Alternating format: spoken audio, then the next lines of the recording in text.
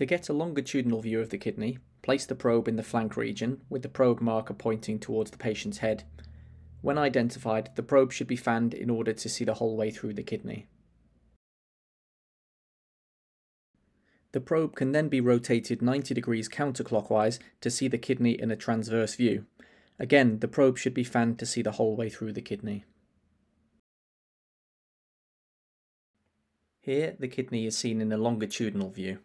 The renal pyramids are seen as anechoic areas within the renal medulla, and the renal sinus, which contains the calyces and blood vessels, appears hyperechoic due to the presence of fat. The kidney can be seen to move during respiration. The probe should be fanned in order to see the entire way through the kidney.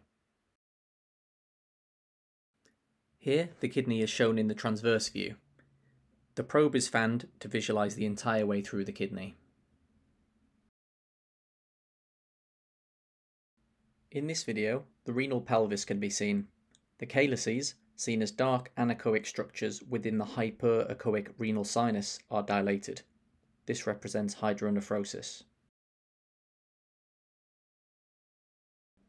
To view the bladder, the probe is placed over the suprapubic region with the probe marker towards the patient's right side.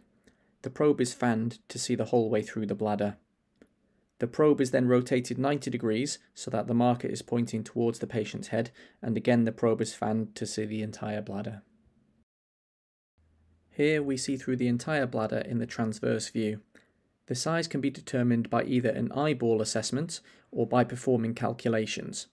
To calculate the bladder volume, depth and width measurements can be taken in this view. In the longitudinal view, a further height measurement can be taken to combine with the depth and width measurements in order to calculate the bladder volume. Here, the colour Doppler is placed where the ureters connect to the bladder. When the VUJ contracts, forcing urine into the bladder, it is shown as a burst of colour on screen.